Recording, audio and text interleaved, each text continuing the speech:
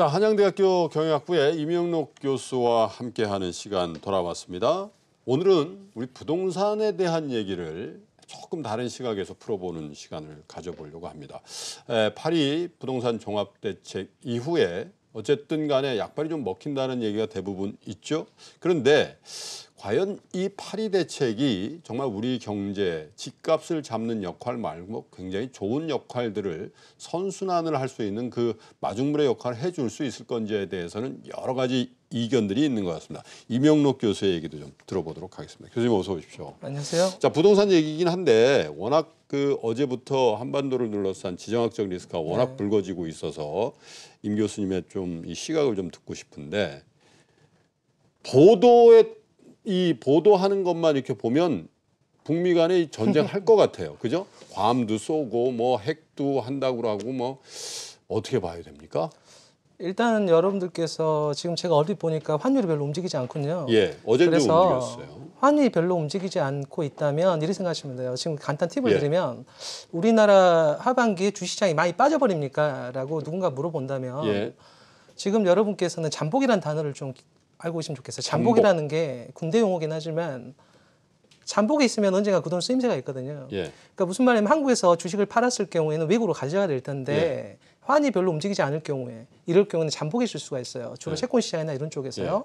그래서 어 지금 여러분께서 주식이 팔렸는데 채권 시장으로 들어오는 거가 뭐 절반 이하다. 예. 혹은 어, 이런 정도로 봐서 절반 이상으로 유지되고 있다. 그러니까 판 돈하고 채권 시장으로 유입되는 돈하고 2대 1 정도로 그 기준점을 잡으셔가지고 예. 2대 1 이상으로 유지되고 있으면 어, 외국인 돈은 잠복이 있을 확률이 크다고 생각하시고 크게 빠지지 않을 거라고 생각하셔도 될 것 같아요. 지금 현재는 그렇습니다. 예. 아니 근데 저, 저는 질문이 좀 더 큰 그림에서 아 그러신가요? 주시장 얘기는 뭐 또 아, 많이 예. 하니까. 미, 미국과 북한 간의 어떤 이런 그 대결 구도 있잖아요. 네. 그야말로 말폭탄이 나왔는데 예. 이런 것들에 대해서 우리 투자자 여러분들이나 우리 국민들이 어떤 생각들을 좀 가지는 게 좋아요. 이게 정말 걱정해야 될 상황이냐 아니면 아유 이게 한두 번이냐 이런 사람들도 있고요. 그죠? 아 지금은 전쟁 안 날 거예요. 음, 그러니까 너무 걱정 안 하셔도 될 것 같아요. 음. 결론으로 말하면 그렇습니다. 그렇게 듣, 듣겠습니다. 네. 너무 간단히 말씀하셔가지고 제가 안 했으면 좋겠습니다. 저도 정말 아. 그런 일 없어야 되겠죠. 지금 단 하나 걸리는 거는 예. 지금 미군이 좀 많이 들어오고 있어요 한국에. 음, 그 부분 빼놓고는 전쟁이라고 단언하기 힘듭니다. 그래서 음. 지금 상황은 일단은 예. 뭐 많은 분석이 필요하겠지만 예. 전쟁은 없다라고 음. 생각하시고 진행하시면 될 것 같아요. 알겠습니다. 사실 전쟁이 난다는 전제가 있다면 지금 우리가 다루려고 하는 부동산이라든지 또 투자자 여러분들이 매한 관심 있어 하시는 주식 투자라는 것도 전혀 다른 궤에서 우리가 네. 행동하고 결정하고 판단해야 될 일이기 때문에 그 말씀 한번 드려봤습니다만 생각이 다 다르실 수 있겠습니다만은 그렇지만 정말 없었으면 좋겠는 그런 상황이 에, 됐으면 좋겠네요. 자 부동산 얘기를 좀 해보는데 지금 시장이 어떤 겁니까? 이 부동산은 참 거대 담론이죠. 음. 거대 담론이고 예, 어, 그래서 되게 복잡해요. 그런데 어떻게 보면 되게 단순하기도 합니다. 예. 그래서 일단 현재를 알려면 과거를 알아야겠죠. 그렇죠. 그래서 지금까지 왜 도대체 그런데 가장 중요한 거는 부동산은 만질 수 있는 물건이죠. 이게 핵심이에요. 예, 돈은 교환의 대상이고. 예, 그래서 가장 원리는 뭐냐면은 교환할 돈이 많이 필요한 세상이 된다면, 음, 즉 인플레이션이 많이 발생한다면 차라리 만질 수 있는 걸 바꾸려고 하겠죠. 기본 예. 구조상. 그게 금리일 수도 있고 부동산일 수도 있어요. 그러면 부동산의 가장 특징은 무엇이냐? 개인에게 부동산은 딱 하나입니다. 예. 돈이 엄청나게 많이 들어가요. 어. 전 재산을 바쳐야 되는 게 부동산이거든요. 전 대산도 모자라서 대부분 그렇죠. 대출이잖아요, 대출. 그래서 부동산은 어마어마한 돈을 요구한다는 게 가장 큰 특징이에요. 음, 그래서 어마어마한 돈을 동원을 해야 된다는 예. 말은 우리식으로 표현하면 이쪽에서는 유동성이라고 하잖아요. 예, 그러니까 어마어마한 돈이 흘러다녀서 이 중에 내가 이만큼이라도 예. 가져올 수 있으면 내 집을 사서 바꿔놓겠다는 의지의 표현이거든요. 부동산 매매라는 게. 예, 자 그리고 일단 정부 입장에서 가만 보시면 정부는요 부동산이 망하면 안 돼요. 음, 왜냐하면 부동산은 세금의 보고거든요. 음. 특히 지방단체들 같은 경우 있죠. 지방단체는 지방자치단체. 어, 취등록세가 거의 재정의 절반이에요. 음, 이게 무너지게 되면 어떻게 되냐면 이제 누가 다 감당해야 되냐면 정부 혼자 감당해야 돼요. 중앙정부. 중앙정부가. 예. 그럼 이 경우가 어떻게 발생하냐면 여러분 일본 보시면 딱 맞아요. 즉 중앙정부가 빚을 감당해서 계속 운영을 해줘야 되는데 예. 그러면 그 빚을 믿을 만한 빚이면 되겠죠. 그러려면 기축 통화해야 되고 등등 기축 성장이 가능해야 되고 등등 조건이 맞아야 되는 거거든요. 그래서 기본 구조상 우리나라는 일본이라고 생각하시면 아니 돼요. 일단 기본적으로 그러면 들어가기 앞서서 시, 부동산은 좀 큰 이해가 필요해서요. 어, 부동산이 도대체 거품이 왜 붙어요? 누군가 저한테 물어볼 수 있어요. 특히 예. 지금 대학원생이나 대학생일 수도 있겠죠. 고등학생일 수도 있고. 그럼 이렇게 이해하시면 돼요. 여러분이 혹시 원자 폭탄을 맞은 일본의 사진을 보시면 사람이 망연자실 거리를 바라보는 표정을 보실 거예요. 예. 그런데 건물이 안 보이죠? 예. 그래요. 다 없애면 결국 땅밖에 안 남거든요. 음. 그래서 부동산은 건물을 상상하시고 하시면 안 되고요. 건물을 지운 상태에서 그냥 바라봐서 그 땅이 좋으면 그 땅이 좋은 거예요. 음. 그래서 부동산은 입지라고 말하는 겁니다. 예. 그래서 부동산은 오직 입지가 말을 해요. 음. 그 입지 그리고 반드시 예. 벗어날 수 없는 이종표들이 있어요. 그 입지에서 그걸 소위 말하는 인프라라고 하는 것들인데 음. 대표적으로 보면 학교, 예. 관공서, 음. 큰 경기장, 도로. 도로 이런 네. 것들이 바로 우리가 말하는 인프라예요. 예. 그래서 여러분께서 부동산이라는 걸 자세히 보고 싶으시면 현재 것을 보시면 안 되고요. 음. 여기가 땅밖에 없다고 생각했을 때는 좋은 입지인가만 평가하시면 돼요. 그래서 오래된 건물이라도 살 수가 있는 이유와 명분이 생기는 거거든요. 음. 자 여기까지 이제 전제 조건을 하시고 하나 제가 더 덧붙이자면 많은 분들이 부동산을 우리나라의 문제로 생각을 하셔요. 예. 근데 절대 그러시면 안 됩니다. 음. 그러시면 절대 안 돼요. 아, 부동산 올라가는 거를 부동산은 해외 상황의 영향을 훨씬 많이 받고 거의 받는다고 보시면 돼요. 그렇죠. 자, 그러면 여러분이 이 앞서서 이제 논리를 전개시키기 예. 할때 이제 이해를 도모해 보죠. 세상에 창과 방패라는 게 있어요. 음. 창은 방패를 공격하기 위해서 만들어진 거고 방패는 창을 막기 위해서 만들어진 거죠. 그러면 누가 이길 거냐라고 한번 물어봐야 돼요. 기본적으로 방패는 모든 구석을 다 막아야 되죠. 우리나라 속담이 있죠. 100명의 포졸이 한 명의 도둑을 못 잡는다고. 음. 왜냐하면 도둑은 만 가지의 공격 루트 중에 하나만 성사시켜서 들어가면 되기 때문에 그래요. 음. 그래서 방어하는 측은 가장 좋은 방법은 아주 나부로 모든 길목을 다 막아버리는 방법인데 이러려면 너무나 너무나 통행이 안 돼서 죽어버리죠 사람들이. 그래서 창과 방패의 대결인데 그럼 창이 누굽니까라고 물어본다면 창은 바로 우리 자신이에요. 투자자, 실수요자, 우리 국민일 수가 있어요. 방패는 누구냐면 땅을 보고 이 땅과 막 교환하려고 하는 사람들 왜 좋아 보이니까요. 땅은 희소하니까 확장되지 않고 돈은 계속 확장되잖아요. 정부가 계속 찍을 거고 아, 땅은 뭐 삼성전자 계속 돈을 벌어올 땅은 건데. 뭐 전쟁에서 이 땅 내 땅이라고 하지 않는 이상 땅이 늘어날 가능성은 없으니까. 그렇죠. 음. 그래서 돈은 계속 늘어날 상황에 땅은 한정돼 있으니 저라도 바꾸려고 할 거 아니에요. 그러면 수많은 창이 우리나라 인구가 5천만이면 5천만 개의 창이 다양한 각도로 접근해 들어오겠죠. 음. 근데 막아야 될 정부는 방패를 혼자 들고 있어야 해요. 음. 그래서 그 5천만 개를 어떻게 막겠어요? 그래서 적당한 크기에 맞는 구석을 맞춰서 방패를 막게 되거든요. 음. 그럼 처음에는 효과적이겠죠. 효과적이에요. 왜냐하면 막으려고 만든 거니까요. 그런데 창도요. 삼지창이 나오기도 하고 꺾어지는 창이 나오기도 하고 심지어 채찍도 나와요. 음. 들고 있는 사람 뒤통수를 때릴 수도 있는 거죠. 철퇴도 철퇴. 철퇴도 있고. 그래서 길게 보면 시장이 이겨요. 음. 짧게 보면 정부가 이깁니다. 아, 짧게 보면 규제가 이기고 예. 길게 보면 시장의 원리가 이긴다. 예. 이렇게 좀 이해를 먼저 하시고요. 자, 이제 부동산에서 음. 아까 말했던 게 돈이 많이 들어간다고 그랬죠, 제가. 돈이 너무 많이 들어요. 이 돈이 그러면 어디서 나왔어요? 라고 이제 물어볼 거 아니에요. 이제 이 답을 먼저 해야 돼요. 네. 자, 해보시죠. 첫 번째, 여러분이 부동산 폭등이 언제부터 시작되냐고 누가 물어보신다면 DJ 정권 때부터 그래요. 왜냐하면 아. DJ 정권이 했던 건 축은 두 가지입니다. 첫 번째 신용카드를 확산시켜서 원금 하나로 100명이 돌려 먹을 수 있도록 뺑 돌렸던 거예요. 네. 이게 바로 쌓여서 했던 게 신용 불량자 세력들입니다. 이게 안타까운 현실이지만 그 당시에 너무 빨리 했어요. 한꺼번에 빨리 올리려고. 음. 두 번째 뭐냐면 분양가 상한제의 과감한 철폐. 예전에 여러분 이름도 정겨워요. 음마, 음. 청실혼실, 캐나리 아파트. 근데 언제부터 그게. 팰리스고 예. 언제부터 무슨 타워고 예. 왜 그러냐면 왜 아파트 광고에 유명 연예인이 나와야 되죠? 그게 다 소비자한테 부담이 될 건데 왜 그러냐면 그 연예인 안 삽니다 실은 그 집에 하지만 그래야 부가가치가 더 생겨서 그래요. 그럼 부가가치를 왜 만들어야 되냐고요? 정부가 분양가 상한제를 철폐시켜줬거든요. 네. 즉 국내 경기를 돌리기 위한 가장 중요한 사업으로 건설 경기를 돌려야만 했고 이 상황에서 부가가치를 돌려서 돈을 뺑뺑뺑 신용카드랑 같이 돌려줘야 됐기 때문에 분양가 상한제가 철폐되면서 그 당시 망했던 기업의 돈을 노리지 않고요. 핵심 이겁니다. 돈이 많았던 개인이에요. 그 당시는. 네. 그 개인들의 돈이 부동산으로 유입되게 됐던 거예요. 자, 이게 1번 타자입니다. 자, 2번 타자는 누구냐면 여러분이 아시는 이제 노무현 정권 때죠. 그게 어떻게 된 거냐면은 노무현 대통령 전 대통령 시절에서는 이런 거였어요. 그래서 강남이 올라갑니다. 그리고 미국에서 그 당시 뭐가 있었죠? IT 거품이 거의 꺼져가면서 제로금리 쪽으로 쭉 빠져 들어왔죠. 그 당시에. 그다음 유럽에서도 유로존 탄생하면서 금리가 쭉 내려갔었죠. 그래서 낮은 금리의 기축통화 두 개가 솟아오르면서 투자할 곳이 없는지 뺑뺑뺑뺑 돌아다 보니까 부동산 쪽으로 유입되기 시작하고 미국에서는 리만이란 걸로 연결되고 리만 터지니까 유럽에서는 안전자산 확보한다고 유럽으로 다시 땡겨오고 그 과정에 그리스가 걸려 있는데 그리스 위험하니까 돈 빼라고 하면서 바로 촉발된 거예요.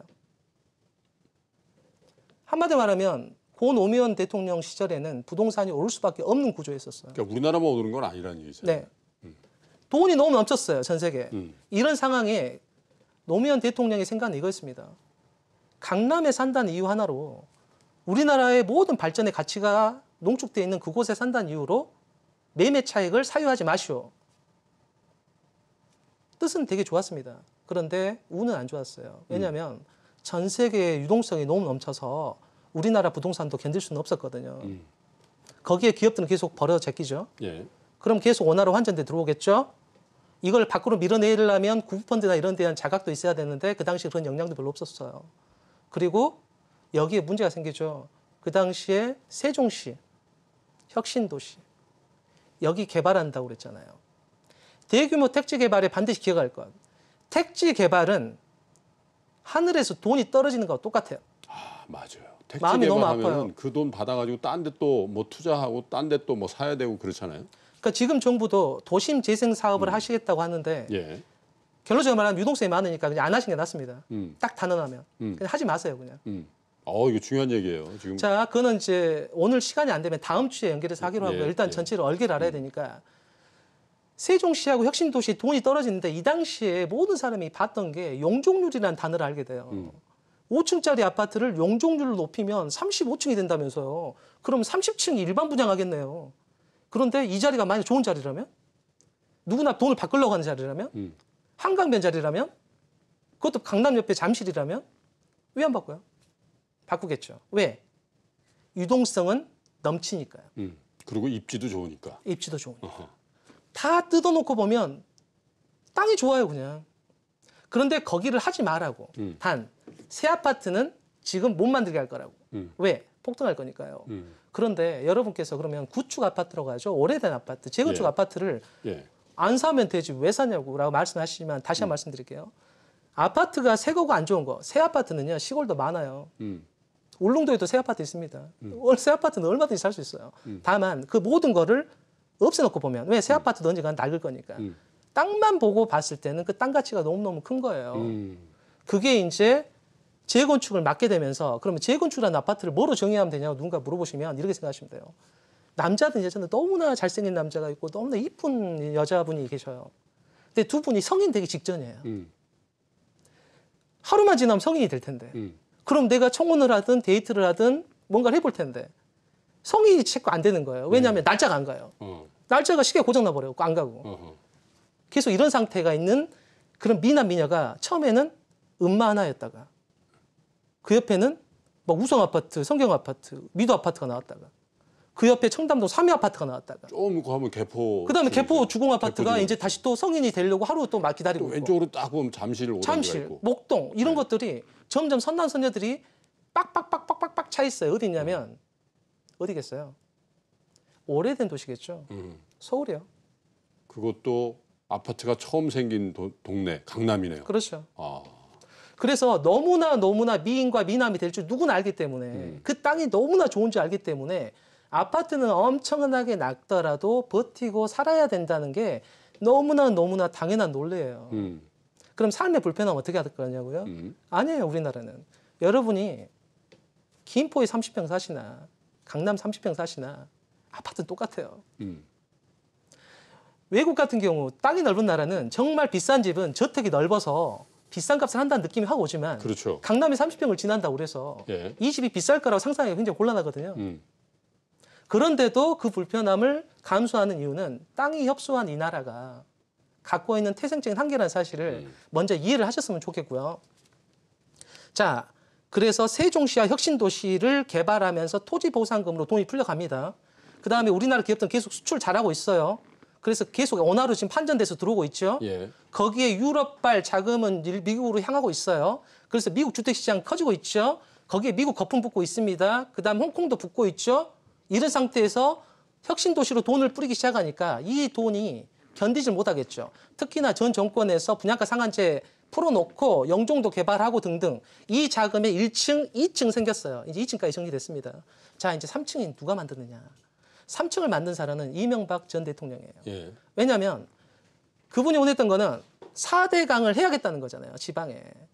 그런데 지방에 돈을 풀려면 명분이 있어야 돼요. 예. 부동산이 너무 좋으면 풀 수는 없잖아요. 음. 그럼 어디를 막아야 될 거냐? 지방은 막을 필요가 없죠. 왜 지방에 거품이 안 떴으니까. 내가 할 곳은 지방이니까요. 음. 그래서 서울 쪽을 규제를 합니다. 광역교통만 다 끊고 주택거리가 잘 되지 않도록 만들어놔요. 음.